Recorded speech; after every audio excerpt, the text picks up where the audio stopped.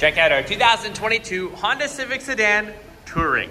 And what's better than a Civic Touring, a red Civic Touring? This thing looks absolutely fantastic. Definitely gonna turn a lot of heads on the road.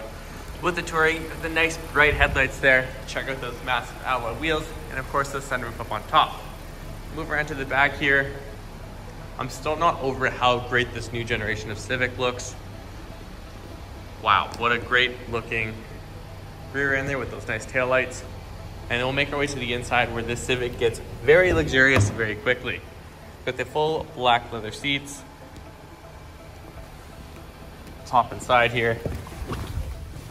So, right off the bat, leather wrap steering wheel, heated steering wheel as well, all your paddle shifters. Only 10,000 kilometers with this vehicle. Up top here, you got your screen.